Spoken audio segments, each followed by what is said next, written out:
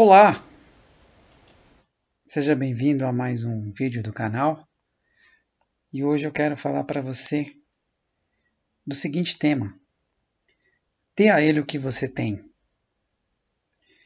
Lembro-me do dia em que, como se fosse hoje, é, quando eu conheci a internet, quando eu conheci na minha época as redes sociais, né?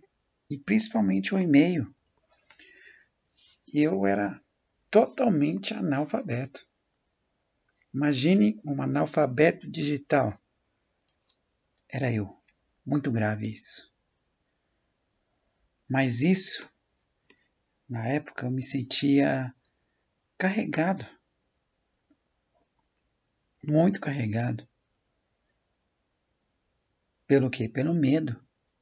Aquele medo, sabe aquele medo paralisante? Quando aquela a informação é demais para aprender. É, é assim como eu me sentia. Ou às vezes você pode estar se sentindo assim, né? Quando a mudança é grande demais para ser feita, você sente um peso, uma sobrecarga, ou quando temos, temos uma dor profunda,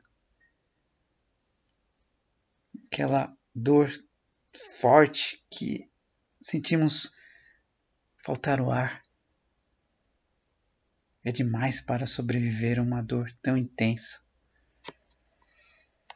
Ou no caso de Jesus, a multidão é numerosa demais. Nossa, meu Deus, essa multidão que, que eu vou fazer com essa multidão? Precisa ser alimentada. Mas Jesus diz lá em, na palavra de Deus em, em João 6, é, versículo 11. E Jesus tomou o pão, deu graças, aqueles cinco pães e dois peixinhos e distribuiu para todos, todos que estavam assentados. Ele os alimentou com os peixes também. Olha, eu te chamo a reflexão. Antes de contar o dinheiro, pão ou peixe, antes de contar a si mesmo, vire-se para aquele que está ao seu lado Vire para o seu Criador que está ao seu lado. É isso mesmo. Conte para Cristo primeiro. Ele pode ajudá-lo. Ele pode fazer o impossível. Simplesmente você precisa dar a Ele o que você tem e vê-lo trabalhar. Deus abençoe sua vida.